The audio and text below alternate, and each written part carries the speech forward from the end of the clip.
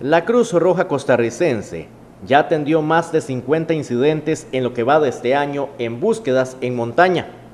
La institución recomienda mantener la precaución en caso de visitar zonas boscosas y montañosas, preponderantes aquí en la región brunca de Costa Rica. La Cruz Roja costarricense cuenta con unidades especializadas que atienden este tipo de incidentes.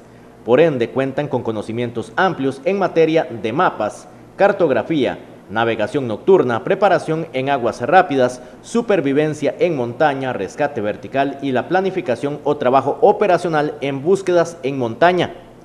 La institución brinda una serie de recomendaciones a poner en práctica en zonas boscosas o montañosas. Por ejemplo, asesórese sobre las características de los bosques o zonas montañosas donde desea asistir.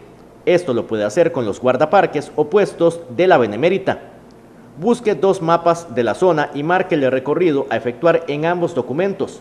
Uno se lo lleva usted y el otro se lo deja a alguna persona que pueda entregárselo a las autoridades de búsqueda en caso de extravío. Adjunte otro documento con los datos correctos de los excursionistas como por ejemplo la edad, peso, padecimientos en salud, etc. Anote las características de los bosques o zonas montañosas donde desea asistir esto lo puede hacer con los guardaparques opuestos de la Cruz Roja. Lleve siempre repelente, focos y sus baterías de repuesto, una brújula, fósforos suficientes, confites, dulces, bien sellados, para que no le ingresen insectos, algún tipo de toldo de color fuerte y llamativo, ropa adecuada por el tipo de clima. Si se da cuenta que está extraviado, no se mueva más del punto. Aproveche y haga un campamento seguro para que no pueda ser atacado por animales.